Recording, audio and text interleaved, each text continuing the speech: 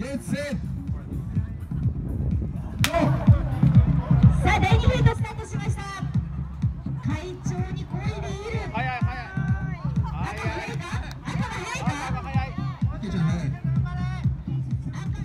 る先生頑張って。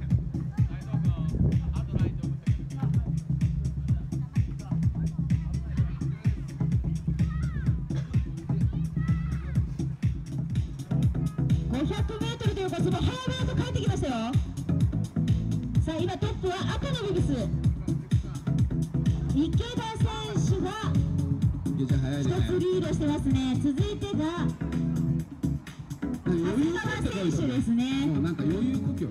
あれ。あれよ余裕ですか？余裕だってもう全然なんか余裕。あれやっぱりほら落ちて。あいやいやいやいやいやいや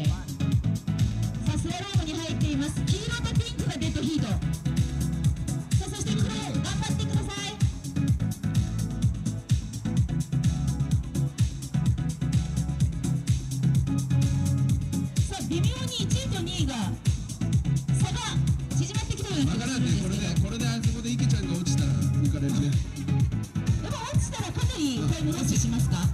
落ちるね。うわうまいね。落ち。なんかボイをくるくる回してますけどさあどうでしょう？さすがだね。池田選手が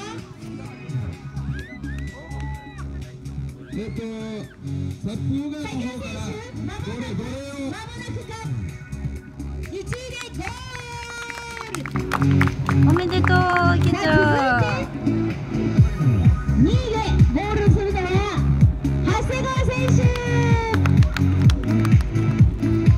すがだね長谷川さんはい3番目は黄色のビブスだおメーカー大道メーカー代表岩井さんいやー岩井選手おめでとうございます立ち上がりたくないのに上がっちゃった続いては立ち上がりたくなかったんですかね岩井さんいやいきなり今日出てくれそして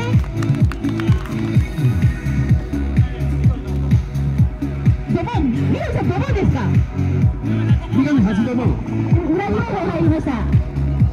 涼しくなったということで